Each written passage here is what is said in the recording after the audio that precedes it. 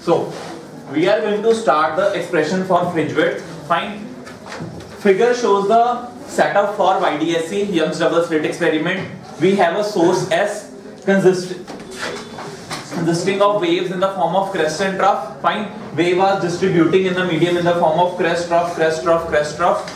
Again, we have a wooden cardboard in which we have two holes S1 and S2 these two holes are behaving as two coherent sources. Fine. यहाँ से अब waves हमारी distribute होंगी। Last lecture में मैंने तुम्हें path difference का concept clear किया था। ठीक है? अब देखो। पूरे एक्सप्रेशन में हमने करना क्या है? We have to derive the expression for fringe width ठीक है? मतलब जो हमारी फ्रिंजेस बनेंगी, उनकी विड्थ क्या होगी? देखो। लास्ट क्लास में हमने वाईडीएससी को पूरा डिटेल में किया था। अगर ये हमारी एक स्क्रीन है, देखो on the board if this is our screen और ये तुम्हारा स्क्रीन का सेंट्रल पॉइंट है। Fine if this is the central point of the screen central point of the screen will be the bright point ठीक है? ये तुम्हारा bright होगा। उसके बाद ऑल्टरनेटिवली यहाँ पे तुम्हारी डार्कनेस होगी और यहाँ पे तुम्हारी डार्कनेस होगी, फिर तुम्हारी ब्राइटनेस होगी, फिर तुम्हारी ब्राइटनेस होगी, ठीक है?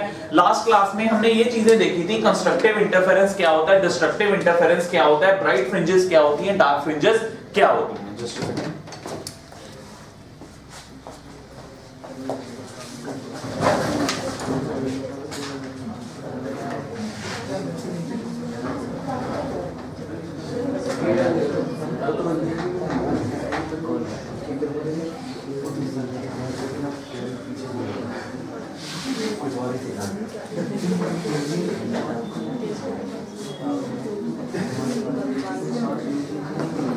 ठीक है?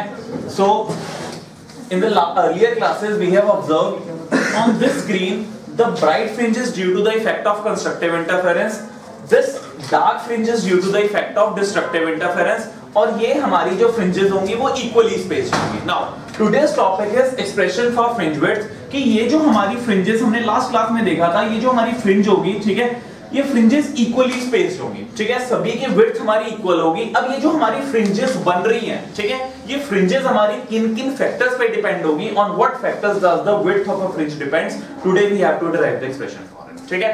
अब देखो बोर्ड पे। मतलब अल्टीमेटली हमें, अब देखो फ्रिंज विड्थ की अगर मैं बात करूँ, इधर देखो, ये भी हमारी फ्रिंज विड्थ है, ठीक है? So can I say that fringe width is nothing but the difference between the consecutively two bright fringes और difference between the consecutively two dark fringes कहने का मतलब क्या है? देखो, ये तुम्हारी एक ब्राइट फ्रिंज है। ये इसकी फ्रिंज विथ हुई, ठीक है? अब अगर मैं इस डार्क इस सेंट्रल ब्राइट फ्रिंज से, इस सेंट्रल ब्राइट फ्रिंज मतलब कहने का मतलब क्या है? जो तुम्हारी फ्रिंज विड्थ होगी, वो एक फ्रिंज से कंसेक्टिवली एक ब्राइट से दूसरे ब्राइट का गैप होगा और एक डार्क से दूसरे डार्क का गैप होगा। अब हमने ड्राइव करना एक्सप्रेशन कि ये फ्रिंज विड्थ किन किन फैक्टर्स पे डिपेंड करती है। अब इधर रखो बोर्ड पे। ये हमारा, अब ये स्क्रीन है। इस स्क्रीन पे हमारे दो पॉइंट्स हैं। First we have a point O then we have a point P on point O, the path difference will be zero because this is the central maxima point. Path difference का मैंने तुम्हें point बताया था। Path difference क्या चीज़ होती है? Path difference का मतलब है, देखो, ये तुम्हारा S1 स्लिट है, ये हमारी S2 स्लिट है। S1 स्लिट से पॉइंट O तक पहुँचने के लिए वेव ये रूट को फॉलो कर रही है। पॉइंट O तक पहुँचने के लिए S2 स्लिट से वेव इस रूट को फॉलो कर रही है। अब अगर मैं डिस्टेंस देखूँ, अगर मैं कैलकुलेट करूँ S1O and S2O these two distances are equal S1O and S2O are equal. So path difference at point O due to these two waves will be zero. Okay? Now, what we have to derive? Let's derive the expression for path difference at point P due to these two waves. अब देखो, point P is at a distance of y from the central point O. Fine. we have taken a point P which is at a certain distance y from the point O. Now we have to calculate expression for path difference at point P और path difference का ही हम जो expression हम derive करेंगे, उसी से हमारा फ्रिंज का एक्सप्रेशन डायरेक्टली लिंक करेंगे ठीक है? फाइनली सो इस डेरिवेशन में डेरिवेशन है एक्सप्रेशन फॉर फ्रिंज विड्थ हमने क्या करना है? जो हमारी फ्रिंजेस बन रही हैं, वो कितनी विड्थ की बन रही है, हमने वो कैलकुलेट करना है। वो डायरेक्टली नहीं निकलेगी, उसको हम लिंक करेंगे पाथ डिफरेंस से। जैसे पाथ डिफरेंस का एक्सप्रेशन आ जाएगा, वो फ्रिंज विड्थ से लिंक हो जाएगी। कहने का मतलब क्या है? ये हमारा स्क्रीन पे एक पॉइंट ओ है सेंट्रल मैक्सिमा सेंट्रल मैक्सिमा पे हमारा पाथ डिफरेंस ज़ीरो होता है। मैंने सेंट्रल मैक्सिमा से वाई डिस्टेंस ऊपर एक पॉइंट पी एज्यूम कर लिया। इस पॉइंट पी पहले तो इस पॉइंट पी पे क्या पाथ डिफरेंस होगा कि नहीं होगा? बिल्कुल होगा। मैंने दिखाया। P पॉइंट तक जो S1 के थ्रू वेव्स पहुँच रही हैं, जो वेव्स पहुँच रही है, वो ये रूट फॉलो कर रही हैं। इधर देखो ध्यान से। ठीक है? This is the route that the wave follows to reach point P from S1 this is the way that a wave follows to reach the point P from S2 और देखने से ही क्लियर हो रहा है कि जो S1 के थ्रू वेव निकल रही है, उसको कम डिस्टेंस कवर अप करना पड़ रहा है। जो S2 से वेव निकल रही है, उसको ज़्यादा डिफरेंस कवर अप कर रहा है। मैंने ऊपर लिख दिया। लेट्स से S1 से P तक का डिस्टेंस हमारा x है। मैंने ये डिस्टेंस x अज्यूम कर लिया। अगर ये x है तो S2P मैंने क्या किया? X डेल्टा x होगा। तो पाथ डिफरेंस क्या बना? Delta x. सिंपल S1P हमारा ये गैप x है। ये गैप लेट से मैंने मान लिया x प्लस डेल्टा x है। तो दोनों में जो डिफरेंस आया वो क्या है? Delta x. का। तो ultimately we have to derive the expression for ठीक है? So I am writing again we have to derive S2P one S1P which is nothing but x plus delta x minus x comes out to be delta x. तो हमने इस delta x का expression derive करना है। तो ultimately अब मुझे क्या करना पड़ेगा? अब देखो अल्टीमेटली मुझे इस डेल्टा x की वैल्यू चाहिए। ये डेल्टा x क्या है? S2P और S1P दोनों का डिफरेंस अब S2P देखो। S2P हमारा ये रूट है। ये है हमारा S2P ठीक है? S2P दिखा S2P निकालने के लिए मैं इस राइट एंगल ट्राइंगल का यूज़ करूँगा। कौन सा right angle triangle P B S two ठीक है? P B S two right angle triangle से ये हमारा हाइपोटेन्यूज है जो मुझे कैलकुलेट करना है। बेस मुझे पता है डी है, और परपेंडिकुलर क्या है मेरा? Y plus D Y getting my point on the board procedure समझ लो, सिर्फ़ डेरिवेशन में सिर्फ़ ये समझा करो कि हमने जो निकालना है उस तक पहुँचने का ब्रिज क्या है। ब्रिजिंग पार्ट है, देखो we have to derive path difference मैंने तुम्हें बताया एक्सप्रेशन है फ्रिंज विड्थ का। फ्रिंज विड्थ निकालने के लिए मुझे पाथ डिफरेंस कैलकुलेट करना है। पाथ डिफरेंस का मतलब बता दिया था, जो एक वेव बड़ा पाथ लेके उस पॉइंट तक पहुँच रही है सेकंड वेव छोटा पाथ लेके उस पॉइंट तक पहुँच रही है, दोनों पाथ्स का डिफरेंस हमारा पाथ डिफरेंस होगा। सिंपली कॉमन सेंस ठीक है? We have to derive the expression for S2p and S1p S2p minus S1p will be the path difference. X plus delta x minus x, जो हमारा path difference निकलेगा वो delta x होगा। मतलब यहाँ पे मैं डेल्टा एक्स रखूँगा। और वो किस टर्म्स में निकलेगा?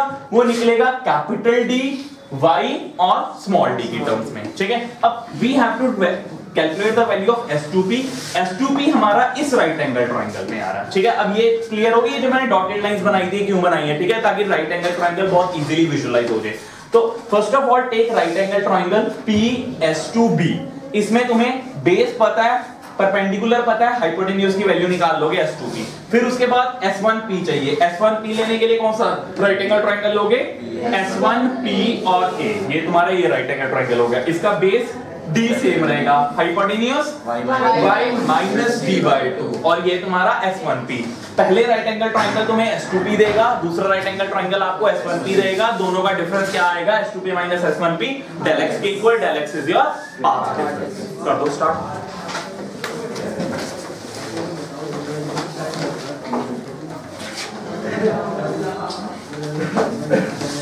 ठीक है? I am doing on the board mathematical part है, करते रहो, जहाँ पे अटको बोर्ड को देख लेना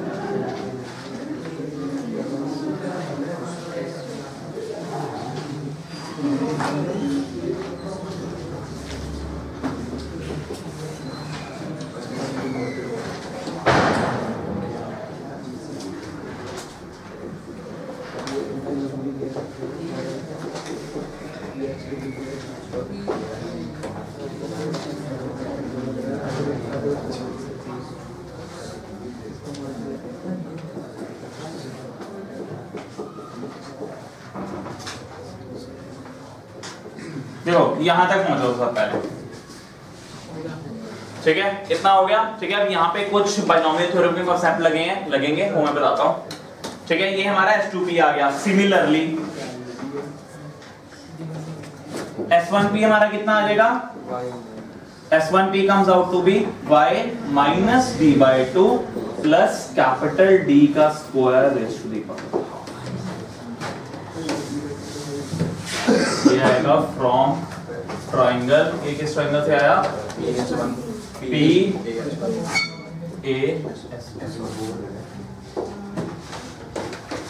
ठीक है? इतने पार्ट में कोई इशू दो राइट एंगल ट्राइंगल लिए। पाइथागोरस थ्योरम लगा दी। Hypotenuse square will be equals to perpendicular square plus base square hypotenuse हमारा S2P है। दोबारा से जिनको नहीं क्लियर हो रहा? PS2B ये मैंने राइट एंगल ट्राइंगल ले लिया।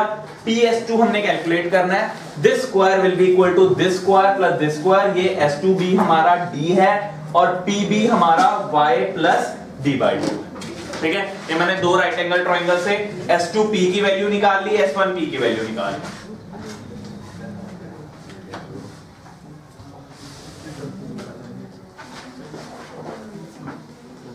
ठीक है? इतना हो गया। शैल रब दिस ठीक है?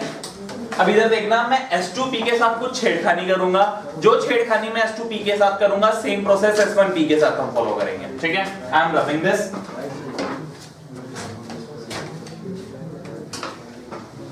इधर देखो यस S2P की हमारे पास वैल्यू आई है d square plus y plus D by two का होल स्क्वायर की पावर वन बाई ठीक है? ये मेरे पास S2P की वैल्यू आई है। मैं यहाँ से d स्क्वायर को बाहर निकाल रहा हूँ। जैसे ही मैं डी स्क्वायर को बाहर निकालूँगा बाहर आएगा तुम्हारा d. ठीक है? यहाँ बचेगा तुम्हारा one plus y plus D by two का होल स्क्वायर अपॉन डी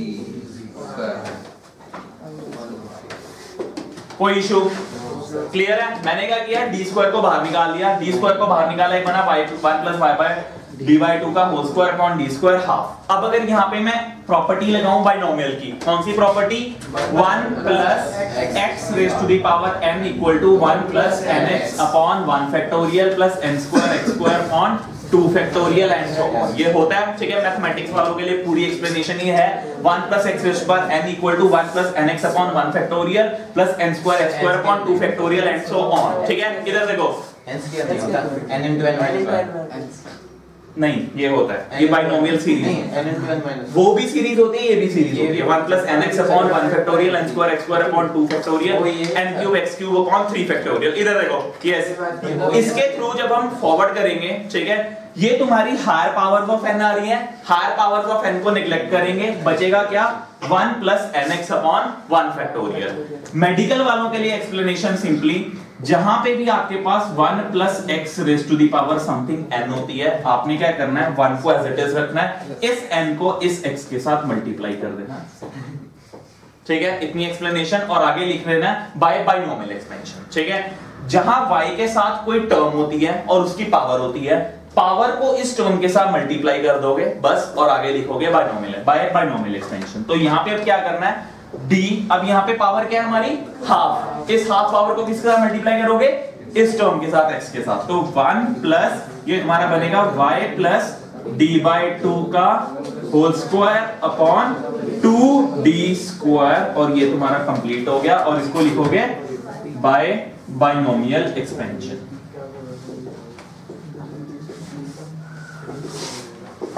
ठीक है?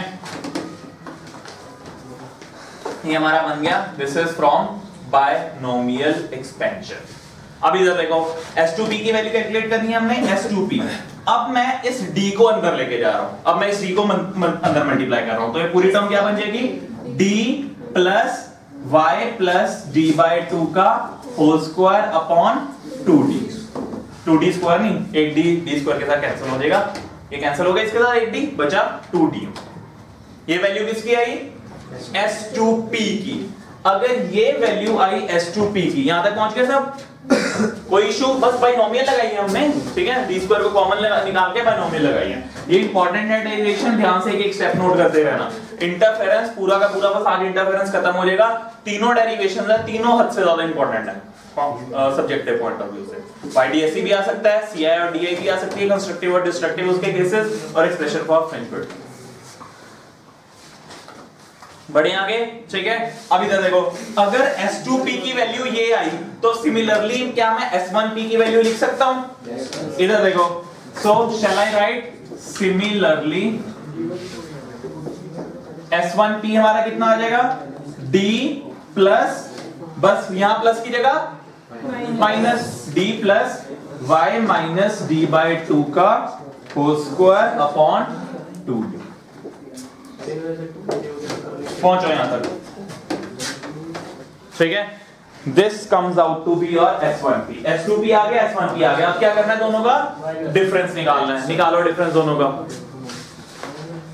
यस. ये रहा तुम्हारा S2P ये रहा तुम्हारा S1P दोनों का डिफरेंस निकालो। वो हमारा किसके इक्वल आएगा? Del x के equal which is nothing but path difference ठीक है? पाथ डिफरेंस आ गया फ्रिंज विड्थ ऑटोमेटिकली निकलेगी उससे। ठीक है? सो S2P माइनस S1P ठीक है? S2P हमारा कितना था? D plus Y plus D by two का whole square upon two D minus D minus Y minus small d by two upon two का स्क्वायर ठीक है? माइनस वाई क्या है? हम्म? कैंसल ये d के साथ d कैंसल ठीक है बचा गया। Y plus D by two whole square minus y minus D by two का होल स्क्वायर और टू डी तो तुम्हारा कॉमन आ जाएगा। इसको सॉल्व कर लो। A प्लस बी का whole square minus A minus B का होल स्क्वायर क्या बचेगा? कैंसिल हो गए 4ab ठीक है?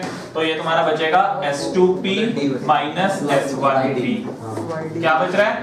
YD, 2YD.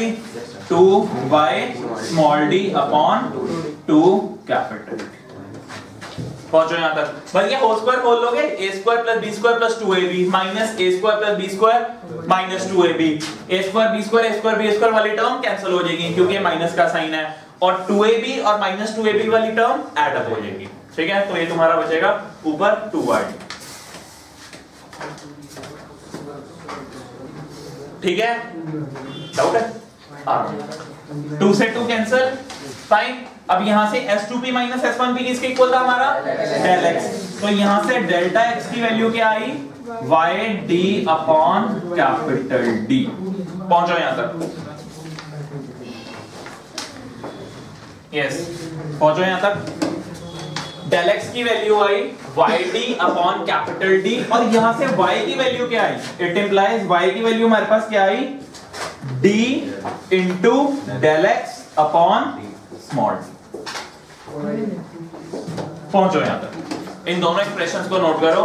डेल्टा एक्स हमारा आया y small d upon capital d और कैपिटल और स्मॉल वाई हमारा कितना आया? मतलब ये जो हमारी फ्रिंज है, ये जो हमारी सेंट्रल पॉइंट से जिस पॉइंट पे हमने पाथ डिफरेंस कैलकुलेट करना है, ये तुम्हारा फैक्टर किन फैक्टर्स पे डिपेंड करेगा? Directly proportional to distance between slits and screen directly proportional to path difference and is inversely proportional to small d distance between the two slits ठीक है अभी ये सिर्फ़ एक्सप्रेशन है अभी इसको लिंक करता हूँ कॉन्सेप्ट के साथ YDSC इतना नोट करो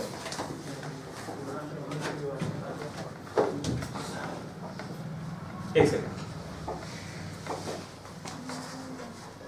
हो गया यहाँ तक ठीक है नाउ राइट डाउन इसके आगे लिखो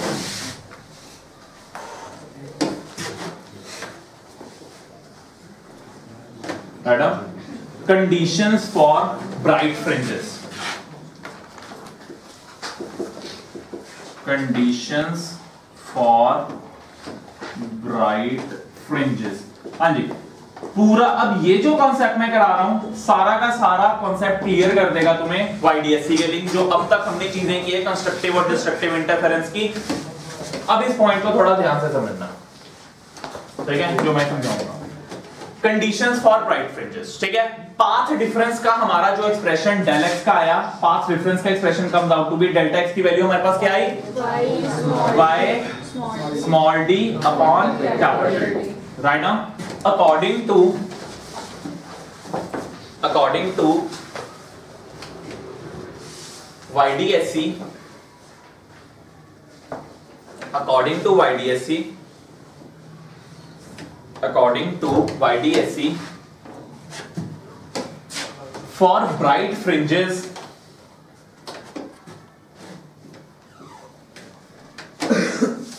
for bright fringes or for CI. CI stand for constructive interference. We have to deduce the conditions for bright fringes, for bright fringes or for constructive interference path difference should be equal to And then n lambda. Path difference should be equal to n lambda. Zero path difference central के लिए ठीक है? और बाकी fringes के लिए n lambda ठीक है? Path difference should be equal to n lambda अब बोर्ड पे देखते हैं मैं क्या कर रहा हूँ। जनरल पाथ डिफरेंस का हमारा एक्सप्रेशन आया yd अपॉन d. अगर ये जनरल एक्सप्रेशन पाथ डिफरेंस का है तो कंस्ट्रक्टिव इंटरफेरेंस के लिए y small d upon capital D should be equal to n lambda? दोबारा से। हमने लास्ट लेक्चर में कंडीशन देखी थी कंस्ट्रक्टिव और डिस्ट्रक्टिव इंटरफेरेंस की in terms of phase difference और path difference clear I am repeating again. In the last lecture, we have reduced the conditions for constructive and destructive interference in terms of phase difference and path difference. दोबारा से constructive interference होने के लिए phase difference क्या होना चाहिए?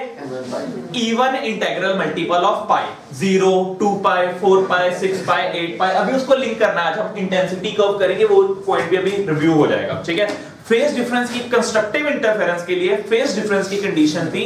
जो तुम्हारा फेस डिफरेंस है वो तुम्हारा even integral multiple of pi होना चाहिए 0 2 पाई 4 पाई 6 पाई 8 पाई और जो तुम्हारा पाथ डिफरेंस है वो इंटेग्रल मल्टीपल ऑफ़ लैम्डा होना चाहिए। और डिस्ट्रक्टिव इंटरफेरेंस के लिए फेस डिफरेंस की कंडीशन थी odd integral multiple of pi odd integral multiple of pi pi three pi five pi seven pi nine pi and so on और path difference तुम्हारा क्या होना चाहिए? Odd integral multiple of half wavelength odd integral multiple of half wavelength अभी उन चीज़ों को link करते हैं, ठीक है? So condition for bright fringes अब हमारा पूरा पूरा पूरा एक्सप्रेशन पाथ डिफरेंस की टर्म में चल रहा है तो मैं फेस डिफरेंस को बीच में इंट्रोड्यूस नहीं करूँगा। फॉर ब्राइट फ्रिंजेस और for constructive interference path difference तुम्हारा किसके इक्वल होना चाहिए? एन लैम्डा के इक्वल पाथ डिफरेंस का जनरल एक्सप्रेशन हमने निकाला y small d upon d. तो yd अपॉन d should be equal to n lambda तो यहाँ से y की वैल्यू क्या आई? यहाँ से y की वैल्यू आई. N lambda capital D upon small d. इधर देखो ध्यान से. Y की वैल्यू हमारे पास आई n lambda capital D upon small d. और y क्या चीज़ है? इधर देखो. What is y? Y is the distance of point from central maximum ठीक है? इधर देखो। अब अगर मैं यहाँ पे, इधर देखो। ये हमारा आ गया y equal to y equal to n lambda D upon D ठीक है? अब इधर देखो। If n equal to zero अगर मैं n को ज़ीरो डालू तो y कितना आ जाएगा? Zero if n equal to zero तो y इक्वल टू ज़ीरो कहने का मतलब क्या है? कि फ़र्स्ट सेंट्रल मैक्सिमा का सेंट्रल पॉइंट से डिस्टेंस ज़ीरो और ये बट ऑब्वियस फैक्ट है क्योंकि फ़र्स्ट जो हमारी फ्रिंज बनती है वो कहाँ पे बनती है? सेंट्रल मैक्सिमा पे ही बनती है और वो कौन सी होती है? Bright so distance of first bright fringe from the central maxima is zero मतलब वो दोनों ओवरलैप कर रही हैं। ये हमें पता है ठीक है? अब इधर देखो। फॉर ब्राइट फ्रिंजेस अब अगर मैं ब्राइट फ्रिंजेस की ही बात कर रहा हूँ तो अगर मैं बात करूँ फॉर फ़र्स्ट ब्राइट फ्रिंज इधर देखो for first bright fringe for first bright fringe first bright fringe के लिए एन की वैल्यू क्या रहेगी? वन फ़र्स्ट ब्राइट फ्रिंज के लिए. ज़ीरो जो सेंट्रल मैक्सिमा है तुम्हारी, ठीक है? ज़ीरो फ्रिंज ठीक है? फॉर फ़र्स्ट ब्राइट फ्रिंज जो तुम्हारी सेंट्रल मैक्सिमा से ऊपर वाली फ्रिंज बनेगी, ठीक है? मतलब मैं बात कर रहा हूँ इसकी, इधर देखो. थोड़ा लिंक भी करते रहते हैं इसको। ये तुम्हारी सेंट्रल मैक्सिमा पॉइंट ओ ठीक है? यहाँ पे तुम्हारी ये डार्क ये तुम्हारी डार्क उसके बाद ये तुम्हारी व्हाइट ये तुम्हारी व्हाइट मैं बात कर रहा हूँ इस वाली फ्रिंज ठीक है?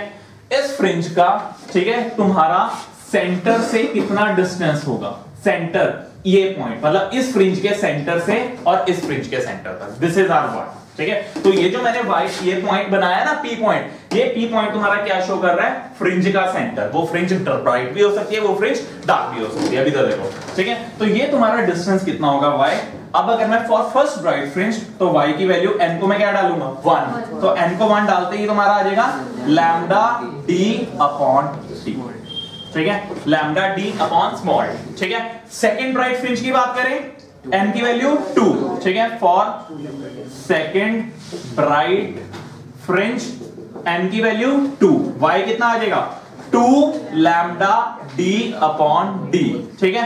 तो इस तरीके से, देखो फ़र्स्ट ब्राइट फ्रिंज का सेंटर से distance lambda D upon D second का two lambda D upon D third का three lambda D upon D अब अगर मैं किसी दो फ्रिंजेस के बीच का गैप निकालू, अगर मैं किसी दो फ्रिंजेस के बीच का गैप निकालू two lambda D minus lambda D will be equal to lambda D by D तो इसका मतलब क्या है? जो तुम्हारी फ्रिंज विड्थ आ रही है, ठीक है? This is this y is what this y is nothing but fringe width जो तुम्हारी फ्रिंज विड्थ आ रही है और जो तुम्हारी दो कंसेक्यूटिव ब्राइट फ्रिंजेस का गैप है, वो तुम्हारा सेम है। तो इसका मतलब क्या है? जो हमारी फ्रिंजेस रहेंगी वो सब इक्वली स्पेस्ड होंगी। समझ रहे मैं क्या बोलने की कोशिश कर रहा हूँ? इधर देखो, दोबारा से। जो तुम्हारी फ्रिंजेस बन रही हैं y is your fringe width lambda D upon D first fringe lambda D upon D second two lambda D upon D ठीक है ये y तुम्हारा क्या गैप है? Y is distance of the fringe fringe के सेंटर से distance from the central maximum ये चीज़ क्लियर हो रही है? ठीक है? और इन दोनों का गैप क्या कहलाएगा तुम्हारा? फ्रिंज विड्थ इधर देखो इधर देखो समझने की कोशिश करो. Point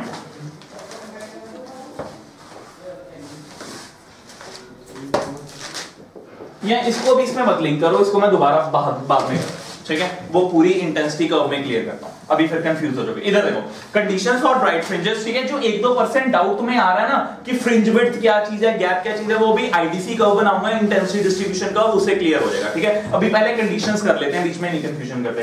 Condition for bright fringes for bright fringes और for constructive interference path difference तुम्हारा इक्वल होना चाहिए एन लैम्डा के। पाथ डिफरेंस तुम्हारा एन लैम्डा के इक्वल है। पाथ डिफरेंस की जनरल मैंने कंडीशन निकाली y small d upon capital D y small d upon capital D को मैंने एन लैम्डा के इक्वल रखा। यहाँ से मैंने y की वैल्यू निकाल ली n lambda D upon D ठीक है? अब y क्या चीज़ है? y को अगर मैं इंग्लिश में बोलना चाहूँ what is y? Distance of any fringe from the centre this y is what? इधर देखो। y is what? Distance of any fringe from the center. For first bright fringe, I am marking it as y1 y1 तुम्हारा क्या होगा? First fringe का centre first fringe का distance lambda D upon D y2 तुम्हारा second bright second fringe का second bright fringe का distance from the centre y3 तुम्हारा third bright fringe का डिस्टेंस फ्रॉम द सेंटर और distance between any two consecutively bright fringes क्या कहलाएगा? Fringe width ठीक है? भाई ये देखो ये तुम्हारा y1 है? ये चीज़ विजुलाइज कर पा रहे हो जो मैं बोल रहा हूँ फ्रिंजेस को। ठीक है? देखो इधर देखो, अगर विजुलाइज नहीं कर पा रहे, मैं यहाँ पे एक और डायग्राम बना के तुम्हें क्लियर कर देता हूँ। ये पार्ट विजिबल है बोर्ड का सबको? इधर देखो, मैं फ्रिंजेस थोड़ी छोटी छोटी बनाऊँगा, ठीक है? उसको क्लियर करना। ये तुम्हारा सेंट्रल पॉइंट है, ठीक है? सेंट्रल पॉइंट पे हमारी ब्राइट फ्रिंज बनी है। ये हो गया व्हाइट कलर ठीक है?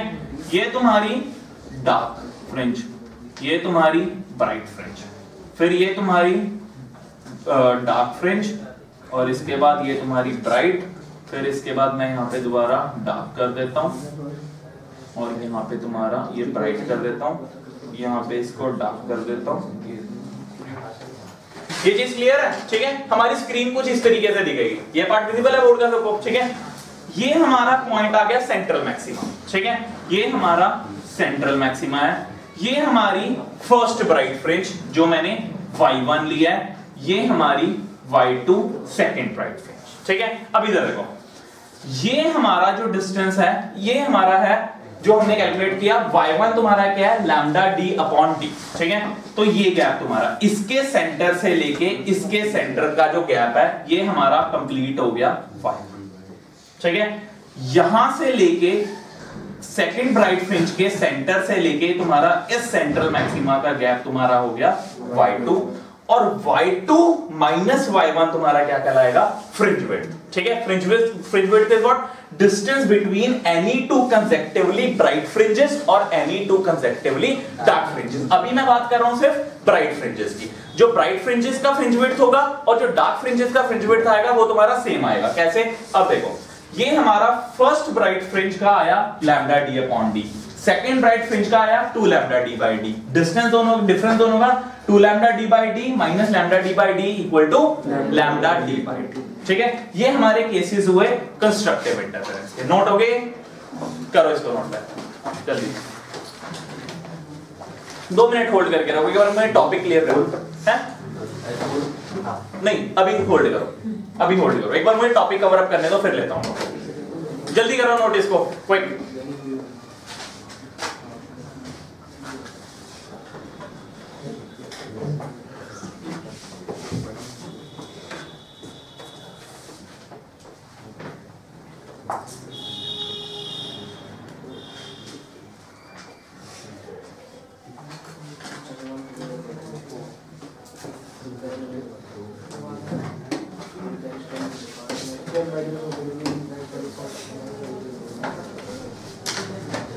डन हो गया नोट ठीक है? Now write down conditions for dark fringes अब यहाँ पे एक स्टेप थोड़ा याद करने वाला है, इसको थोड़ा नोट करना जो मैं चीज़ समझाऊँगा. Conditions for dark fringes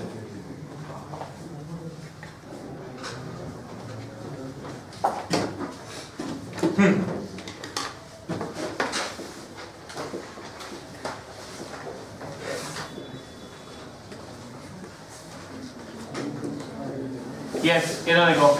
for dark fringes और for DI destructive interference path difference की क्या कंडीशन हमने पढ़ी थी? पाथ डिफरेंस की हमने कंडीशन पढ़ी थी? Odd integral multiple of half wavelength मतलब 2n plus 1 into lambda by two अब यहाँ पे एक चीज़ को लिंक करना, जो चीज़ मैं यहाँ बता रहा हूँ। ठीक है? ध्यान से देखो। फॉर डार्क फ्रिंजेस और फॉर डिस्ट्रक्टिव इंटरफेरेंस ठीक है? डिस्ट्रक्टिव इंटरफेरेंस होने के लिए हमने पाथ डिफरेंस की जो कंडीशन पढ़ी थी, वो हमने पढ़ी थी 2n plus one into lambda by two ठीक है? और देखो, ध्यान से लास्ट लेक्चर में हमने डिस्ट्रक्टिव इंटरफेरेंस की, सबका ध्यान है बोर्ड पे? ठीक है? अब जो मैं पॉइंट बता रहा हूँ, इसको नोट करना, कई बुक्स में इसको गड़बड़ कर रखा ठीक है? उसको एक्सप्लेन नहीं कर रखा, अब जो मैं पॉइंट बताऊँगा, उसकी एक्सप्लेनेशन सुन लेना, ठीक है? In the last class, we have reduced the conditions for destructive interference or dark fringes in terms of path difference. So, we have derived for dark fringes or for destructive interference, path difference should be equal to odd integral, odd integral multiple of, this is what? Half wavelength.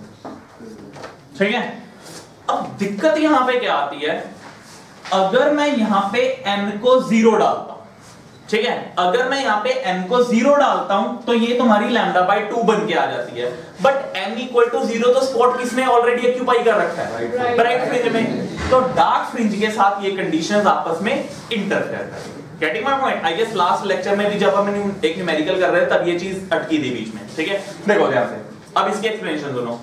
ये हमारा आ गया path difference की condition 2n 1 into lambda 2 अब यहाँ पे अगर मैं n को ज़ीरो डालता हूँ तो वैल्यू कितनी आती है? n को ज़ीरो डाल के लैम्डा बाय टू आती है जबकि n equal to zero already position किसने ऑक्यूपाई कर रखी है? ब्राइट तो according to mathematics rule according to mathematics rule अगर तो मैं ये कंडीशन लगाता हूँ two N plus one into lambda by two तो एन की वैल्यू वेरी करेगी from minus infinity to infinity कहने का मतलब वो ज़ीरो भी हो सकती है, वन भी हो सकती है, टू भी हो सकती है, थ्री भी हो सकती है, माइनस वन भी हो सकती है, माइनस टू भी हो सकती है, माइनस थ्री भी हो सकती है। भाई, अगर two n plus one odd integer है तो टू एन माइनस वन भी तो ऑड इंटीजर है। Getting my point 2n plus 1 is a odd integral multiple. 2n minus 1 is also a odd integral multiple. तो अगर मैं डार्क फ्रिंज के लिए पाथ डिफरेंस की इस कंडीशन को लगाऊँ that path difference should be equal to odd integral multiple of half wavelength ये कंडीशन बिल्कुल ट्रू बैठेगी और इस कंडीशन के अकॉर्डिंगली n को हम वेरी कराएँगे. वन टू थ्री मतलब इस कंडीशन के अकॉर्डिंगली n ज़ीरो पे नहीं है. गेटिंग माई पॉइंट अगर मैं डार्क फ्रिंजेस के लिए ये कंडीशन लगाता हूँ two n plus one into lambda by two तो उसमें हमें एन को ज़ीरो से भी ज़ीरो वन टू थ्री इस तरीके से बढ़ाना पड़ेगा। बट अगर मैं पाथ डिफरेंस की कंडीशन और integral multiple two n plus one भी और नंबर देगा।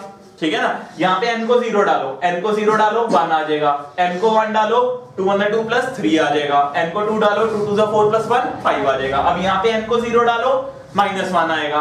N को वन डालो two into one minus one one आएगा। N को टू डालो two two four minus one three आएगा। इस कंडीशन से भी तुम्हारे वैल्यू ऑड ही आएगी बट ये कंडीशन तुम्हारी पॉसिबल फॉलो होती है n equal to one two और थ्री के लिए। मतलब ज़ीरो के लिए नहीं वैलिड होती और यही हमें चाहिए क्योंकि ज़ीरो पोजीशन तो ऑलरेडी किसने ऑक्यूपाई कर रखी है? Dark bright fringe bright fringe में। तो जब ये डेरिवेशन करोगे, जब ये डेरिवेशन करोगे, जो हमने पहले कंडीशन लगाई थी, वहाँ पे तो n प्लस वहाँ पे तो 2n प्लस 1 ही चलने देना ठीक है? कंस्ट्रक्टिव और डिस्ट्रक्टिव इंटरफेरेंस की डेरिवेशंस के लिए। बट जब एक्सप्रेशन फॉर फ्रिंज विड्थ में आपने कंडीशंस लगानी है तो डार्क फ्रिंज और डिस्ट्रक्टिव इंटरफेरेंस के लिए ये चीज़ नहीं करनी। क्योंकि ये एक्सप्रेशन वैलिड होता है ज़ीरो वन टू थ्री के लिए। मतलब अगर आप टू एन प्लस वन लिख रहे हो, ठीक है तो उसमें एन ज़ीरो से लेके आगे हायर वैल्यूज़ तक वेरी करेगा पॉजिटिव इंटीजर्स के लिए, जो तुम्हारी गड़बड़ क्रिएट करेगा इस वाईडीएससी में, क्योंकि n equal to zero already bright fringe ने टेकन कर रखा है, वो उसके पास है। तो we will use the expression path difference equal to two n minus one into lambda by two और इस एक्सप्रेशन के लिए एन वेरी करेगा वन टू और थ्री ठीक है? तो अब इसके बाद सो फॉर डार्क फ्रिंज और डिस्ट्रक्टिव इंटरफेरेंस पाथ डिफरेंस हाँ जी डेल्टा एक्स की वैल्यू हमने क्या निकाला था? डेल्टा एक्स का एक्सप्रेशन क्या था? Path difference should be equal to अब क्या लिखूँगा यहाँ पे? 2n minus one into lambda by two path difference का हमने डेल्टा एक्स का एक्सप्रेशन क्या ड्राइव किया था? Y cap small d upon capital ये एक्सप्रेशन था? पाथ डिफरेंस का yd अपॉन कैपिटल डी तो यहाँ पे डालो y small d upon capital D should be equal to 2n minus one into lambda by two तो यहाँ से y की वैल्यू क्या आ जाएगी? यहाँ से y की वैल्यू आएगी 2n minus one into lambda capital D upon small d. अब इधर देखो, ध्यान से। नोट मत करो, सिर्फ़ देखते रहो बोर्ड पे। Y equal to two n minus one into lambda capital D upon small D हाँ जी। अब अपॉन टू डी ठीक है, ये क्लियर है? अब इधर देखो। अब यहाँ पे n को मैं ज़ीरो तो डाल नहीं सकता, क्योंकि ये एक्सप्रेशन वैलिड होता है n इक्वल टू वन से। वन से स्टार्ट करेंगे। n equal to one n equal to two n equal to three अब इधर देखो। फॉर अब मैं यहाँ पे लिखूँगा फॉर फ़र्स्ट डार्क फ्रिंज अब देखते रहना बोर्ड पे। आधे ज़्यादा डाउट्स ये कॉन्सेप्ट क्लियर करेगा, जैसे ये पैटर्न दिखेगा तुम्हें। For first dark fringe for first dark fringe n की वैल्यू क्या रखेंगे? 1 n की वैल्यू 1 यहाँ पे n की वैल्यू 1 डालो। Y कितना आ जाएगा? 2 into 1 minus 1 lambda d upon 2 small. ठीक है? उसके बाद for second dark fringe second dark fringe के लिए एन की वैल्यू क्या डालेंगे? 2 y n equal to one और n equal to two n की वैल्यू जब टू डालोगे ये तुम्हारा आ जाएगा two two the 4 minus one three three lambda D upon 2d अब इसका मतलब क्या समझ रहे हो? इधर देखो ध्यान से बोर्ड पे, ठीक है? बोर्ड पे देखो ये हमारी स्क्रीन है। इधर देखो बोर्ड पे। This is our screen central maxima हमारा ज़ीरो था, ठीक है? On the board central maxima हमारा ज़ीरो था। फ़र्स्ट ब्राइट फ्रिंज क्या बन रही थी? Lambda D upon D second bright fringe two lambda D upon D इधर देखो। फ़र्स्ट देखो, यहाँ पे मैं बना रहा हूँ। Zero one two three minus one minus two minus three. सबको दिख रहा है? बोर्ड, इधर देखो। सेंट्रल मैक्सिमा पे ज़ीरो, वाई ज़ीरो आ रहा था। First bright fringe, lambda D upon D, ये आ गया। First bright fringe. Second bright fringe, two lambda D upon D. Third bright fringe, three lambda D upon D.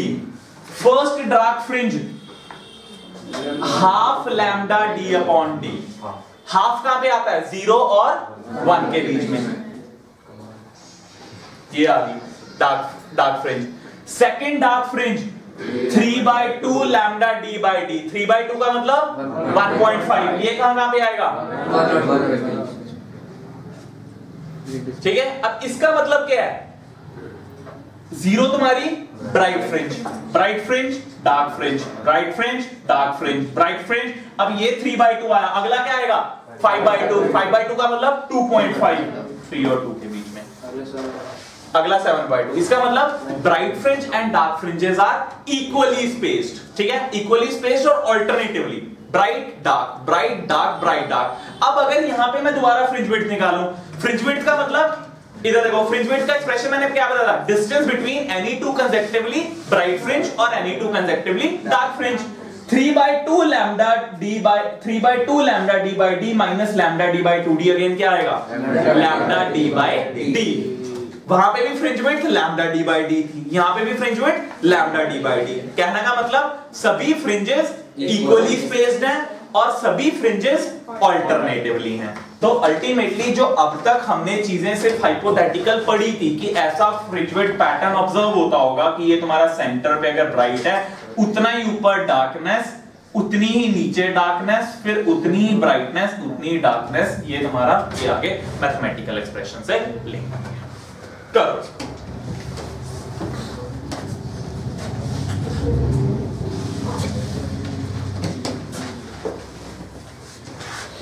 ठीक है? इस चीज़ को थोड़ा ध्यान से लिंक करना। बुक्स ने डायरेक्टली ये दे रखा है एक्सप्लेनेशन नहीं दे रखी एक्सप्लेनेशन मैं तुम्हें मैथमेटिक्स की फॉर्म में बता दी। अगर आप 2n प्लस वन को लेके चलते हो तो n इक्वल टू ज़ीरो को काउंटर करना पड़ेगा। n इक्वल टू ज़ीरो हम डार्क फ्रिंजेस में नहीं घुसा सकते डिस्ट्रक्टिव इंटरफेरेंस के लिए। So we will use the condition 2n 1 भी तो ऑड है 2n 1 is also odd integral multiple 2n 1 भी ऑड इंटीग्रल मल्टीपल पर बट इस इंटीग्रल ऑड इंटीग्रल में n इक्वल टू 1 से वेरिएशन स्टार्ट होंगे, n इक्वल टू 0 नहीं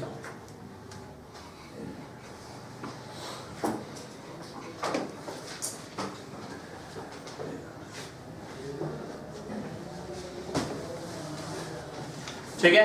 अब थोड़ा समराइज करते हैं चीज़ों को। इधर देखो। यस हेडिंग बनाओ फ्रिंज विड्थ हमारा डेरिवेशन क्या थी? अल्टीमेटली टॉपिक हमारा एक्सप्रेशन फॉर फ्रिंज विड्थ थी क्या right out fringe width distance between any two consecutively bright fringes or any two consecutively dark fringes is called fringe width. Yes. Distance between any two consecutively bright fringes or any two consecutively dark fringes is called fringe width represented by symbol beta. Fringe width का symbol होता है beta. ठीक है अब देखो इस condition को एक बार क्रॉस चेक भी कर लेते हैं कैसे ऑन द बोर्ड देखो बोर्ड पे बीटा पहले मैं फ्रिंज विड्थ निकालता हूँ देखो फ्रिंज विड्थ की definition distance between any two consecutively bright fringes ठीक है मान के चल रहा हूँ बीटा टू तुम्हारी क्या है? दूसरी ब्राइट फ्रिंज बीटा वन तुम्हारी क्या है? पहली ब्राइट फ्रिंज बीटा टू तुम्हारा क्या डिस्टेंस क्या होगा सेंटर से? Two lambda D upon small D B one क्या होगा? लैमडा डी अपॉन डी दोनों का distance lambda D upon D fringe width आ गई तुम्हारी lambda D upon D dark fringes के लिए कैलकुलेट करें, ये तुम्हारी थी ब्राइट के लिए. ठीक है? अब अगर डार्क के लिए कैलकुलेट करें तो ये तुम्हारी beta two minus beta one दूसरी ब्राइट फ्रिंज तुम्हारी एन इक्वल टू टू डालोगे? Three by two lambda D by D ये तुम्हारा one by two lambda D by D three by two minus one by two one lambda D by D और ये तुम्हारा क्या? Dark के लिए. ठीक है? Same expression distance between any two consecutively bright fringes और डार्क फ्रिंजेस ठीक है? ये हमारा वैलिड हो गया। अब इधर देखो, जो सबसे काम की चीज़ है। Beta equal lambda D upon D हाँ जी। जो हमारी फ्रिंज विड्थ है, इधर देखो। हमारी फ्रिंज विड्थ तीन फैक्टर्स पे डिपेंड कर रही है। Lambda capital D small D मतलब अगर आप स्क्रीन को जितना आगे लेके जाते रहोगे फ्रिंज की विड्थ उतनी बढ़ती रहेगी। ठीक है? कहने का मतलब क्या है? ये स्क्रीन जितनी तुम्हारी इस स्लिट्स के पास होगी, उतना आपको फ्रिंजेस डिफरेंट दिखेंगी। Black white black white black white black white black white आप एक अच्छा इंटरफेरेंस पैटर्न ऑब्ज़र्व कर पाओगे। ठीक है? जितना इसको आप दूर लेके जाते, दूर लेके जाते रहोगे, आपकी फ्रिंज विड्थ बढ़ती रहेगी। और हो सकता है फ्रिंज विड्थ इतनी बढ़ जाए कि स्क्रीन पे आपको सिर्फ़ व्हाइटनेस ही शो या डलनेस शो ठीक है? क्लियर है? गेटिंग माय पॉइंट और डी और थर्ड पार्ट तुम्हारा inversely proportional to distance between the slits जैसे जैसे आप इसको कम करते रहोगे फ्रिंज विड्थ आपकी बढ़ती रहेगी। बस ये तीन फैक्टर्स हैं। लैम्डा डी अपॉन डी इस एक्सप्रेशन को याद रखना। Beta equal to lambda D upon D जो हमारा पूरा एक्सप्रेशन था। एक्सप्रेशन फॉर फ्रिंज विड्थ ये आपको क्या टॉपिक आएगा? Deduce the expression for fringe width and discuss the various cases for constructive interference and destructive interference ठीक है? वो डायग्राम बनेगी। पाइथागोरस मैंने तुम्हें बताई दिया, दो ट्राइंगल हो गए S2P S1P उससे तुम्हारा क्या आएगा? Path difference. पाथ डिफरेंस को आप किससे लिंक करोगे? इंटरफेरेंस की थ्योरी से। कि कंस्ट्रक्टिव इंटरफेरेंस के लिए पाथ डिफरेंस तुम्हारा n लैम्डा होना चाहिए। डिस्ट्रक्टिव इंटरफेरेंस के लिए पाथ डिफरेंस तुम्हारा odd integral multiple of half wavelength होना चाहिए और ऑड इंटीग्रल मल्टीपल 2n 1 नहीं लेना, क्योंकि 2n 1 लेने के लिए n इक्वल टू 0 की कंडीशन होती है, जहाँ जो हमारी गड़बड़ी क्रिएट करेगी। क्योंकि एक ही पॉइंट पे कंस्ट्रक्टिव इंटरफेरेंस भी और डिस्ट्रक्टिव इंटरफेरेंस भी हो, ऐसा पॉसिबिलिटी नहीं है। So we will use the condition 2n 1 into lambda by 2 और वो हमारा कंडीशन स्टार्ट हो गया इक्वल टू 1 के लिए। ठीक है? अब ये तो चीज़ क्लियर है, देखो, ये तुम्हारा ऊपर है। ऊपर के लिए n की वैल्यू सारी पॉजिटिव 1 2 3 4 5 नीचे के लिए नेगेटिव -1 -2 -3 तो कहने का मतलब इधर देखो इधर देखो क्लास ऑन द बोर्ड ये अगर हमारा ज़ीरो है, ठीक है? First bright fringe lambda D by D n one नीचे वाली first bright fringe n equal to minus one minus lambda D by D समझ रहे हो? इधर देखो ना ठीक है? ये तुम्हारी ब्राइट फ्रिंज है, ठीक है? इसके बाद ऊपर क्या होगी? डार्कनेस होगी, फिर नीचे भी तुम्हारी क्या होगी? डार्कनेस होगी, ठीक है? फिर उसके बाद तुम्हारी एक ऊपर ब्राइट फ्रिंज बनेगी, ये तुम्हारी फिर एक नीचे ब्राइट फ्रिंज बनेगी। जो इस ब्राइट फ्रिंज का सेंटर तुम्हारा यहाँ से होगा, वो तुम्हारा n equal to one lambda d by d इसका डिस्टेंस नीचे वाला minus lambda d by d ठीक है ना? ये वाई एक्सिस है ना? ओरिजिन से ऊपर पॉजिटिव नीचे तुम्हारा नेगेटिव वो तुम्हारा ऊपर क्या चल रहा था? Plus three by two plus five by two plus seven by two नीचे तुम्हारा minus three by two minus five by two minus ठीक है? So this is it the expression for fringe with and constructive and destructive interference right now next topic next setting बनाओ.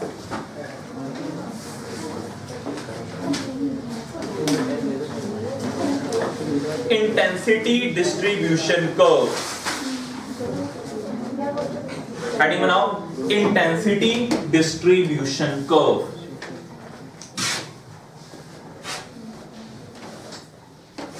Intensity distribution curve.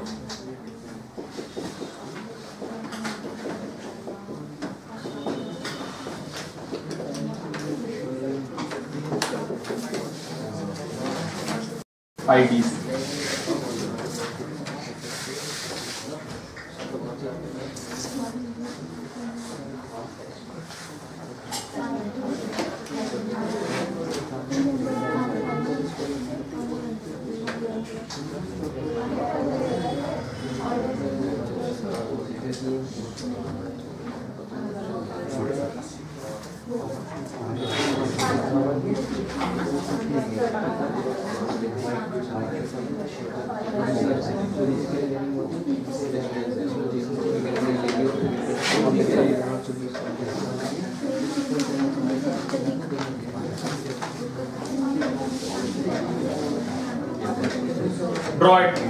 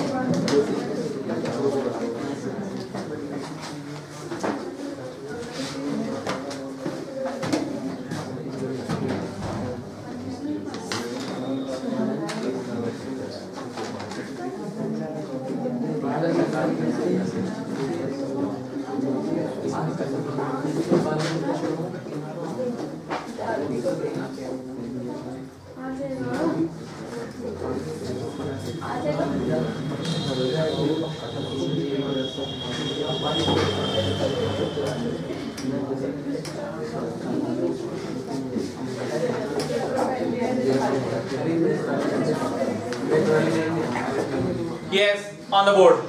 Fine. ये तुम्हारा curve show कर रहा है intensity distribution curve इधर देखो। ये हमारा सेंट्रल पॉइंट है। Fine I have marked it as O ये हमारा ओ है, ठीक है? और ये हमारी क्या है? फ्रिंज की विड्थ है। सेंट्रल पॉइंट पे हमारा क्या बनना है? मैक्सिमा ठीक है? तो ये हमारी होगी ब्राइट फ्रिंज उसके बाद नेक्स्ट तुम्हारी डार्क देखो ब्राइट फ्रिंज पे इंटेंसिटी देखो। कहने का मतलब क्या है? इधर देखो। अगर हमारे दो कोहेरेंट सोर्सेज होंगे on the board yes let's say we have taken two coherent sources. Let's say slit s1 से जो वेव आ रही है, उसका एम्पलीट्यूड a है। ठीक है? जो स्लिट s2 से वेव आ रही है, उसका भी एम्पलीट्यूड a है ऑन द बोर्ड ठीक है?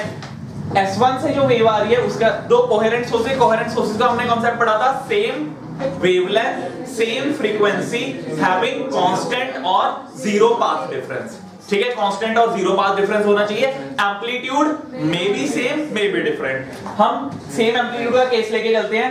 S1 A S2 A इधर देखो फॉर कंस्ट्रक्टिव इंटरफेरेंस हाँ जी कंस्ट्रक्टिव इंटरफेरेंस होने के लिए क्रेस्ट के ऊपर क्रेस्ट ट्रफ के ऊपर ट्रफ मतलब इसका एम्पलीट्यूड और इसका एम्पलीट्यूड दोनों एड अप हो जाएँगे। क्रेस्ट के ऊपर क्रेस्ट ट्रफ के ऊपर ट्रफ का मतलब क्या है? ये हमारी फ़र्स्ट वेव ठीक है? ये और इसी के ऊपर तुम्हारा सेम एम्पलीट्यूड इसके ऊपर एड ऑन हो रहा है। जो फाइनल वेव बनेगी, वो क्या होगी? डबल एम्पलीट्यूड की ठीक है? तो फॉर कंस्ट्रक्टिव इंटरफेरेंस होने के लिए जो रिजल्टेंट वेव बनेगी रिजल्टेंट वेव का एम्पलीट्यूड तुम्हारा कितना होगा?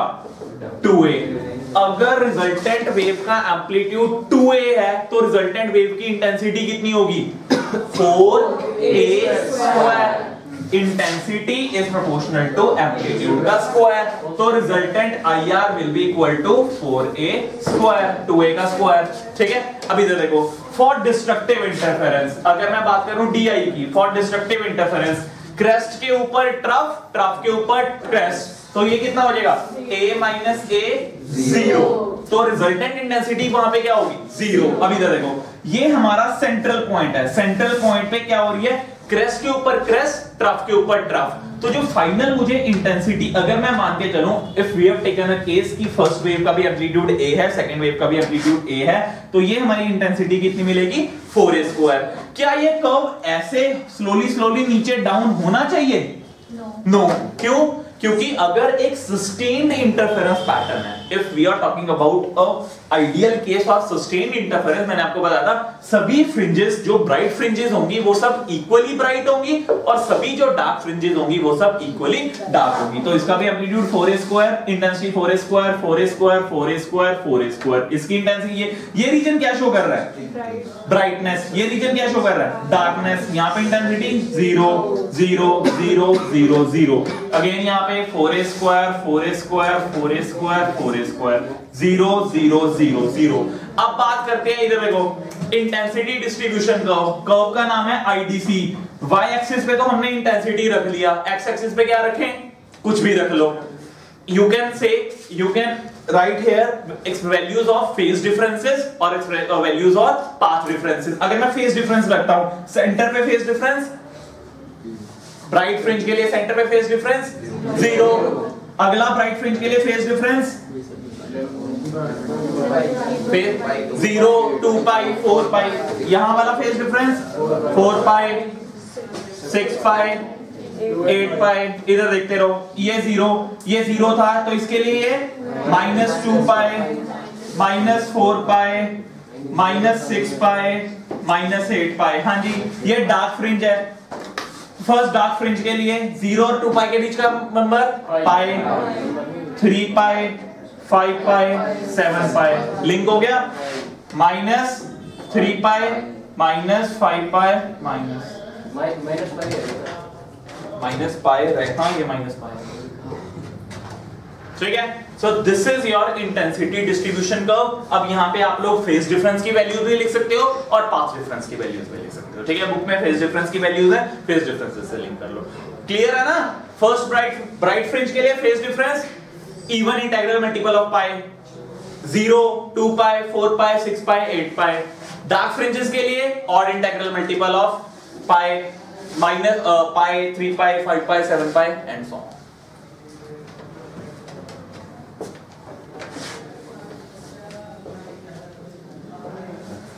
fine.